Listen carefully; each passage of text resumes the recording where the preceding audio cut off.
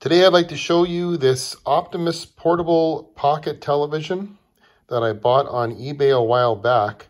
When I bought it, it was still in the original box and wrapped in plastic and it pretty much looks like it was either lightly used or not used at all.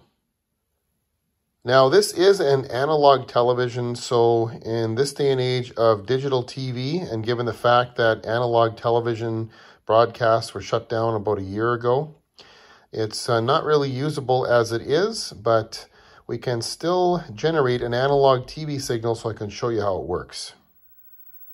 So what I've done to generate an analog TV signal is just taken an old VCR that I bought at a local thrift store for only six bucks. Great deal because it works really well, plays nicely, and it's in great cosmetic condition. And I just took a piece of coax cable and connected it to the RF out so it modulates to channel 3 and the other half of the coax cable I actually stripped away and put an alligator clip on the main conductor here.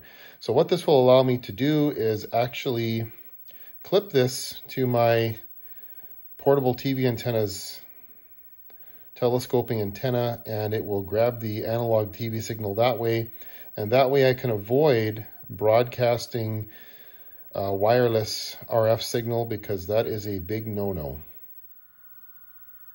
And I just realized that you can hear the whirring of the VCR. I guess that's all part of the charm of analog television.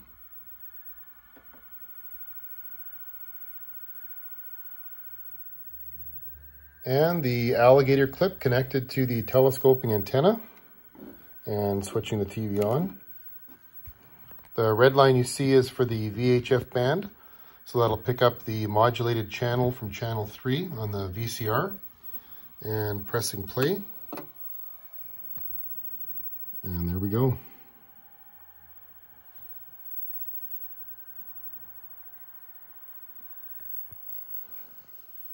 Northcoaster Hobby, now available on VHS.